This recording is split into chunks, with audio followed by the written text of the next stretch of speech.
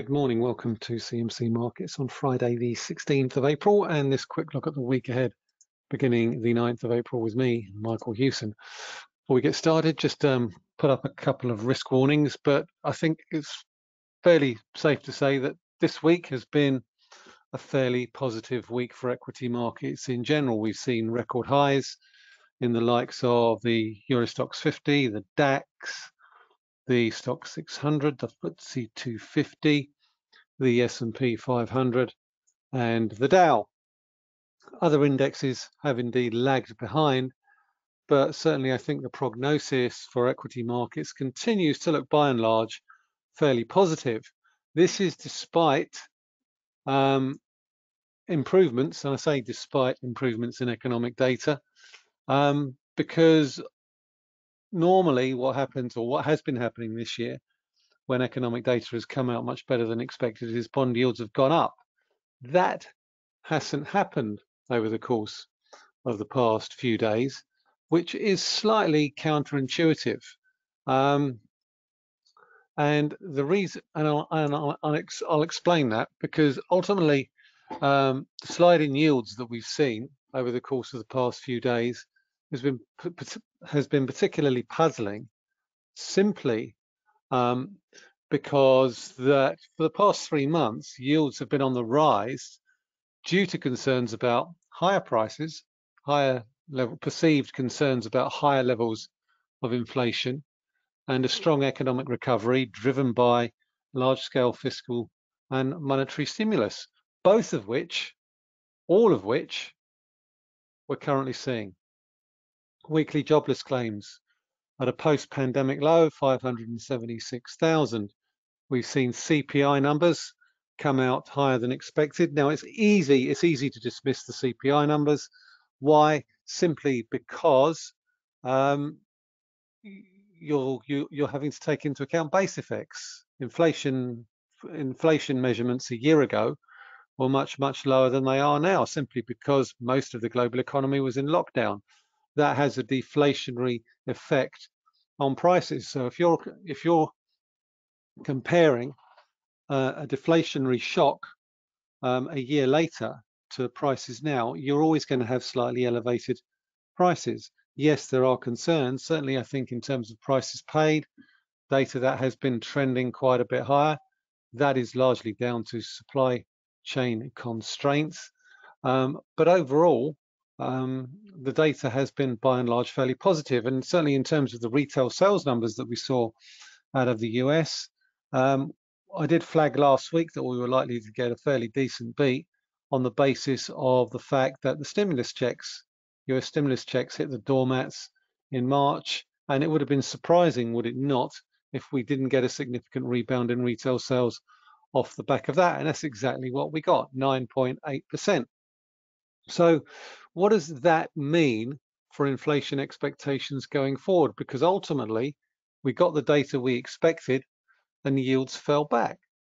Um, so I think for me, we can extrapolate that a number of ways, either that the recovery is in the price already.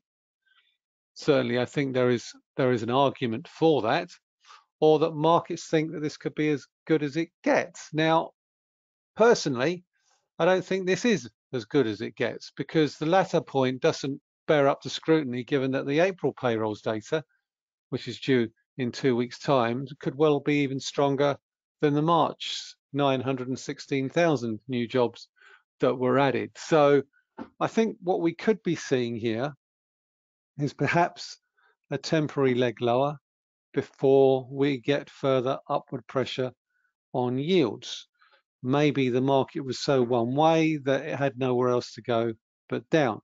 Now, certainly in terms of the price action that we're looking at here, in terms of the 10-year yield, what is significant, and this is a warning sign, is we've broken below the 158.75 lows from the 25th of March. There was a double tap there on the downside. We closed below that. Now what really needs to happen is for us to hold below 160.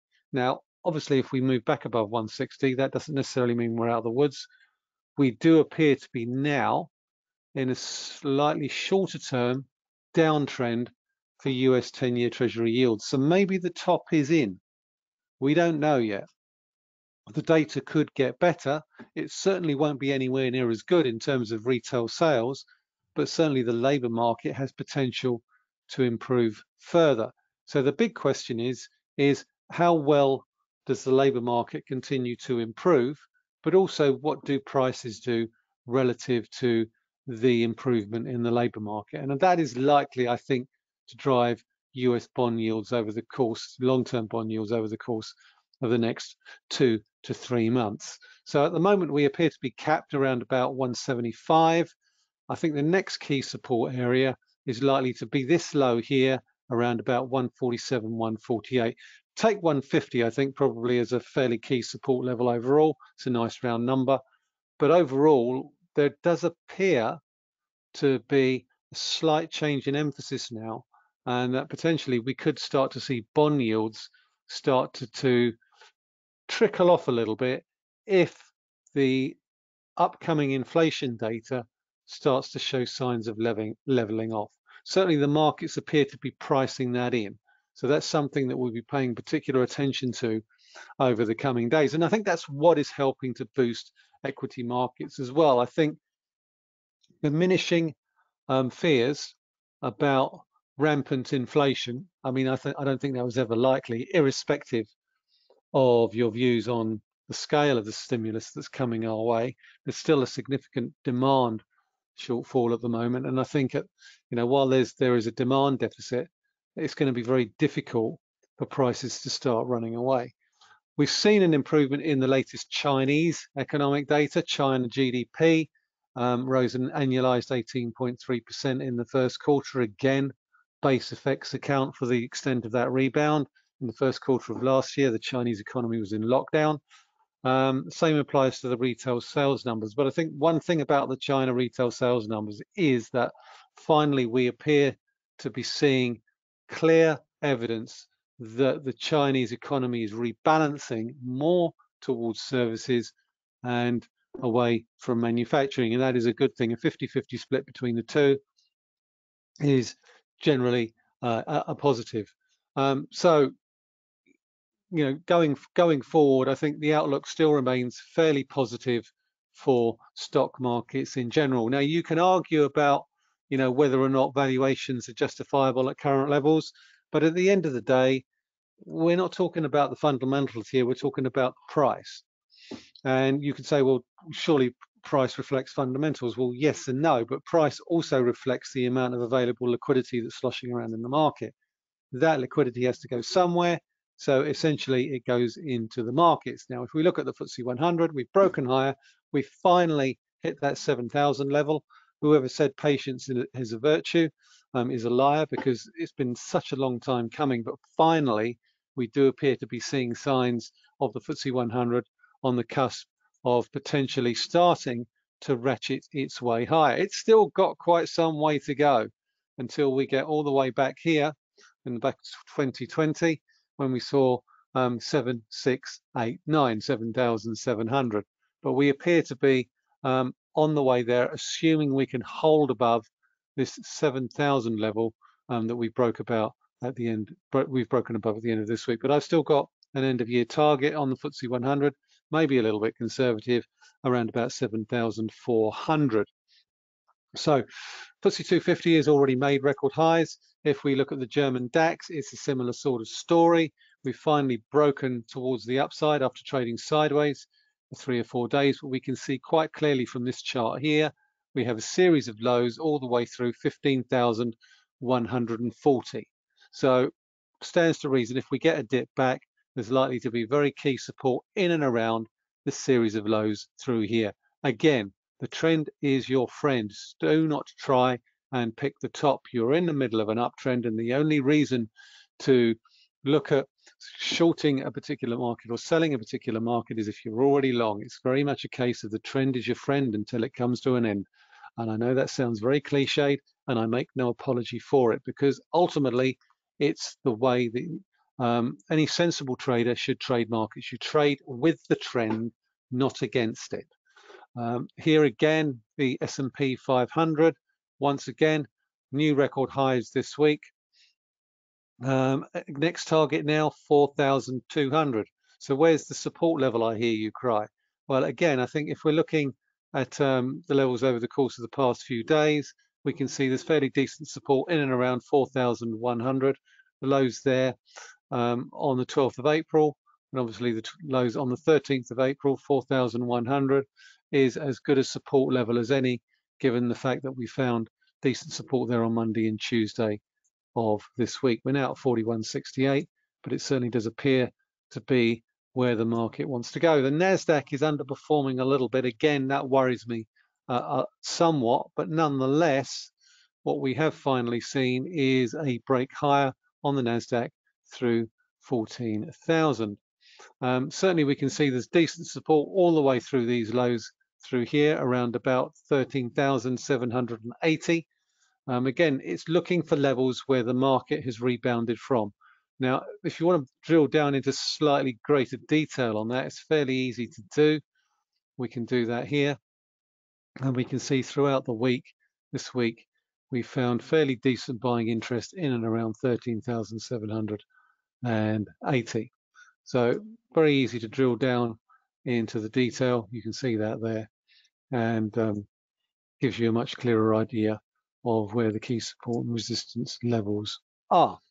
So as I say, we've, we've looked at all of them and now we can look ahead with a little bit of confidence, I think, in terms of um, what's coming up in the week ahead. And it's quite a it's quite a busy week by all accounts. It's probably um, it's going to be a key focus on the UK economy, which brings me on to the subject of the pound, which has looked incredibly weak over the course of the past few days. And I'm struggling to explain the reasons for that. In the same way, I'm struggling a little bit to explain why Treasury yields are as weak as they are, given the strength of the economic data that we've been seeing coming out of the US. Nonetheless, you can't ignore what the price action is doing. We've had a good run higher in the value of the pound over the course of the past few weeks and months, and maybe now is a time for a little bit of a reassessment as to where we go to next. But at the moment, the sterling index, the CMC sterling index, is finding support at the bottom end of this downward channel that we're seeing here. So maybe there's a perception perhaps that we're starting to find, or we're, trying to stretch, we're, trying to find a bottom basically. Um, and certainly I think that's particularly prevalent in the way that euro sterling has been behaving. That's been the ultimate pain trade if you're um, playing a short position. Certainly in terms of where I see euro sterling, I don't like it here. I think it's probably needs to be lower, but nonetheless, I think so does everybody else. And that's why I think it can start to become what is perceived to be a little bit of a crowded trade.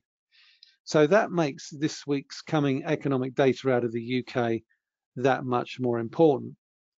Obviously, the, the, the, the rally in the pound has been largely as a result of the successful vaccination program that's being rolled out and perceptions that the economic recovery here in the UK will be much stronger than, say, for Europe, than, than, than Europe.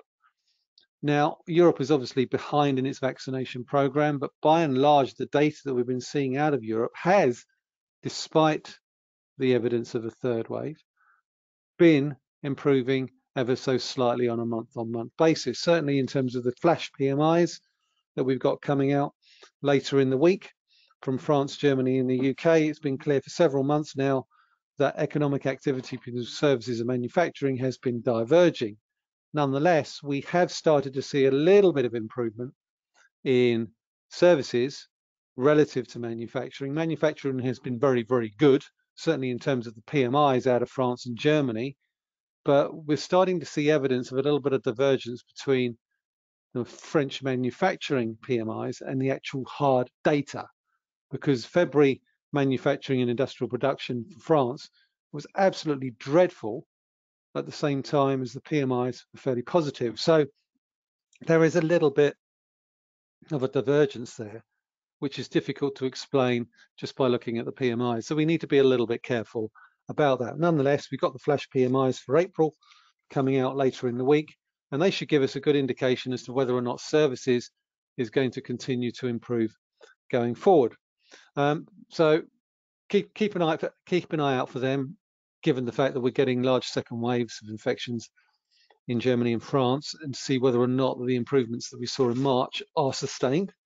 Um, I suspect they may find it they may find it difficult to do so. But in terms of the UK data that we've got coming out, I think the big level on euro sterling is highlighted on the chart that you can see in front of you right now. It's around about 87.30. Um, there is evidence perhaps that the shorts in sterling are starting to get a little bit squeezed and we could see further squeezing if we break above 87.30, 87.40. So that for me, I think is the key level going forward. If we do break high, we'll probably get a sharp move to 88 and the 100 day moving average. But nonetheless, my bias still remains for a stronger pound and a weaker euro. Um, we've also got the European Central Bank rate meeting, so there could be a little bit of what I would call position squaring ahead of that, because I think some of the narrative out of the European Central Bank in the past few weeks has been not as dovish perhaps as you'd like it to be. There's been, I think there's significant divisions on the governing council about the scale of the asset purchase program that's currently being rolled out across the euro area. You've had a, number of members, French central bank governor, for example, the Villeroy de Galhau, basically saying that he wants to terminate the asset purchase program by March 2022, which would be well ahead of any potential tightening from the Federal Reserve. So that's giving a slight upward bias to euro against the dollar, and obviously that is bleeding through also against the pound. So um, I think that explains to some extent why the euro has started to gain ground a little bit. I think in terms of um, the other currency pairs, because I think Christine Lagarde's going to find it much more difficult to draw a consensus on future monetary policy decisions going forward if um, the vaccination program continues to get rolled out, particularly across Germany um, and France and the rest of Europe, and essentially the consensus could start to fracture as we head into the end of Q2 and the beginning of Q3. But as they say, a week is a long time in politics, is an even shorter time in financial markets. Anyway, uh, moving swiftly on, still think euro sterling, big level 87.30, keep an eye on that. But overall, my bias still remains for a stronger pound, weaker euro. Um, which brings me on to the data that we've got out over the course of the next few days. So we've got um, UK unemployment for February on the 20th of April. We've also got the jobless claims numbers. Now, obviously, I think what's less important about um, the unemployment numbers is the fact that they are very much a lagging indicator. Um, certainly, I think while the furlough is still in place, there is a certain element of disguising the true level of unemployment. But I think what is encouraging is that business optimism at its highest level for 13 years and vacancies are starting to rise as well.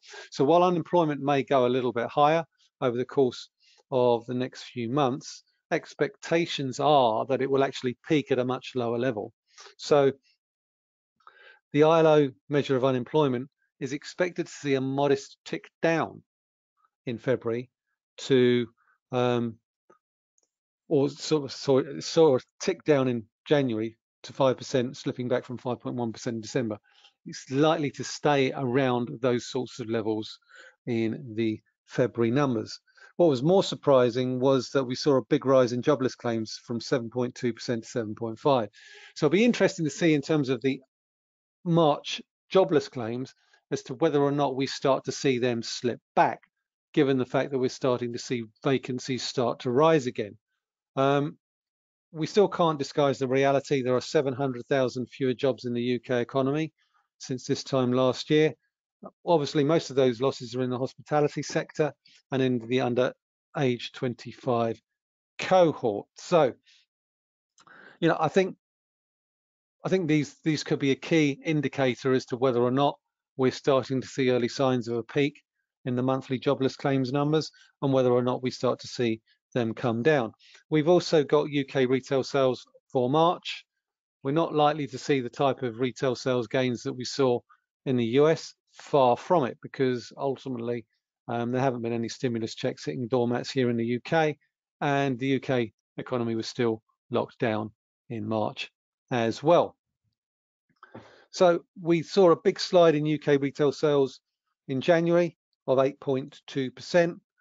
Um, in February, this saw a modest reversal of 2.1% as people took advantage of garden centres and DIY centres still being open. 16% rise in household goods helped offset a 50% decline in clothing sales. I think anyone expecting a big jump in March could well be disappointed, but we could still see um, some fairly decent activity in DIY and garden centres as people look to um, the planting season when it comes to um, looking ahead for uh, the spring. And certainly, I think in terms of the UK GDP numbers, we have seen a much shallower contraction in January and February than was originally feared. So I th certainly think in terms of how the UK consumer um, is feeling, I think there is a growing sense of optimism as we head towards a further unlocking of the economy, not only here in April, but also in May, um, when indoor hospitality starts to reopen as well.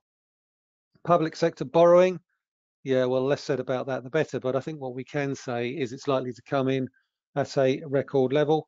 A, another 19.1 billion pounds was added to the national debt in February, and net borrowing rose to 278 billion year to date.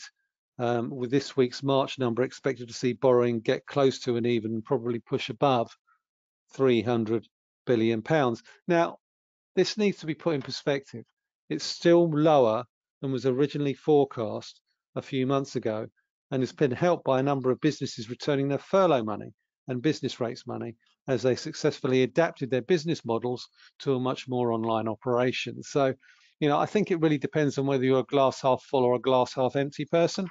Personally, I think given where we are at the moment, I'm probably more glass half full. Um, and, and as such, given the fact that everyone, pretty much everyone is in the same boat, I think whatever the public sector borrowing numbers are at the moment, UK gilt yields are still around about 0.73%. So it's eminently serviceable, even if it is eye-wateringly high. As I say, we, we are not alone in that regard. And we've also got flash PMIs for April coming out for the UK economy, and they're likely to be good and fairly positive as well, given the fact that we saw a big jump in UK services PMI in March as companies started to restock ahead of the reopening in April. So hopefully now that the, we've seen a partial reopening of the economy in April, that trend will continue. So brings me on to sterling dollar, pound dollar, cable, whatever you want to call it. Still big support, 136.70. That's the key line in the sand for further cable losses for me. On the upside, we're struggling to get much above 138.20, 138.30. If you want to keep abreast of my updates on that, you can find them in the chart forum right there. They can be seen here. So I put a, put an, put an update here. We've seen four four days of gains this week. I think the thing that worries me a little bit about this is the, the lack of really an impulsive rebound off those 136.70 lows. But while 136.70 holds, I still think that ultimately the pound should break higher. So that's the key line in the sand for me with respect to cable 136.70. We can talk about euro dollar as well. We've seen a decent rebound in that, and it does look as if we could well be about to start heading higher. So the big question then becomes if euro dollar goes higher, does it take cable with it or does it push euro or, or does it take euro sterling higher? Now it is looking very overbought, but at the moment I'm choosing to disregard that because ultimately it clouds my thinking. It's a question of what's the price doing.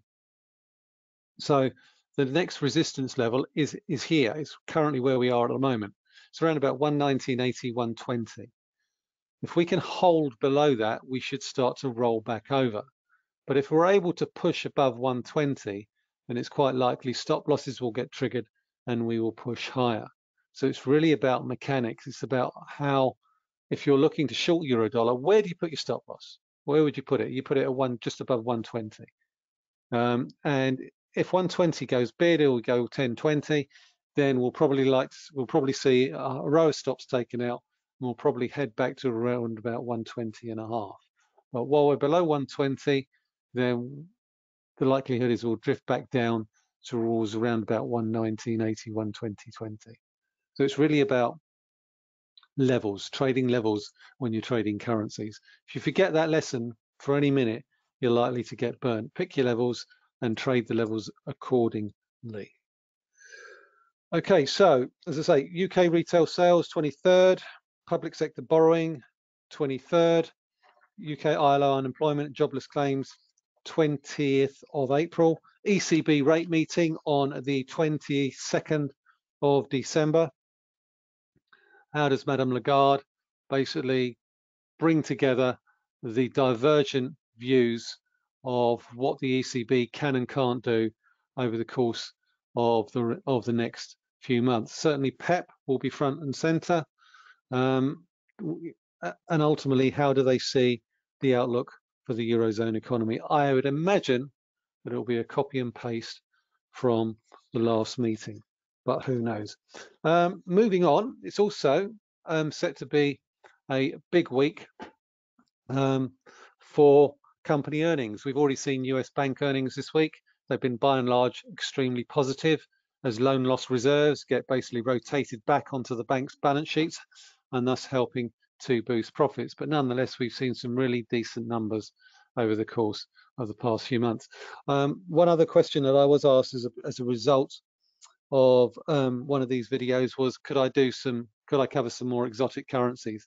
Um, I will, I will try and do that if time permits, but ultimately I think one thing about these particular videos is that they preview what's topical in the week ahead and say something like sterling Mexican or dollars or dollar South African rand is probably not that topical.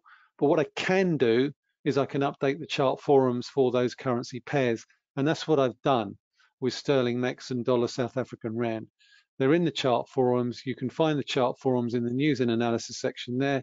You display it there and it displays it here. So Sterling Mex, for example, I put some chart analysis in there. You just click on that button there and then it displays it there and the analysis is displayed in the left hand column there. So the chart forums is a great vehicle for um, essentially um, posting analysis of a particular market and essentially inviting feedback if you want it from other like-minded traders. Okay, so moving on, we've got company earnings from the likes of Associated British Foods, Johnson & Johnson, Taylor Wimpey, and Netflix. Um, so I'm going to start with Netflix, given the fact that we are potentially coming out of lockdown and Netflix is starting to find competition heating up from the likes of Amazon Prime, uh, Disney, and uh, Apple, and they those those those companies will be reporting in the week beginning the 26th of April. But in particular, Netflix, I'm particularly interested in Netflix because it's the market leader. Now, at the end of last year, Netflix managed to show it's fending off the challenges from the likes of Disney Plus, Apple TV, and Amazon Prime by reporting 8.51 million new subscribers and posting revenues of $6.64 billion in its final Q4 numbers. Now, this is key because it also projected that subscri subscriber numbers in this first quarter would rise by 6 million, with profits expected to come in around about $3 a share.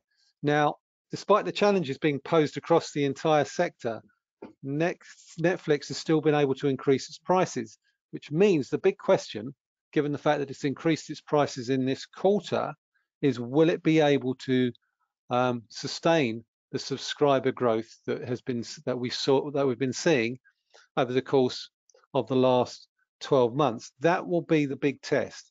Currently, Netflix subscribers are now north of 200 million, 203.7. Now, the American market is saturated.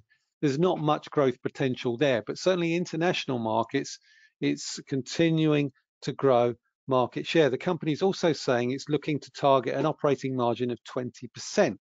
as well as being cash flow positive by the end of this year. Now, that's highly ambitious, but these numbers will give us a decent indication as to whether or not Netflix is on, its way to, to achieving that goal.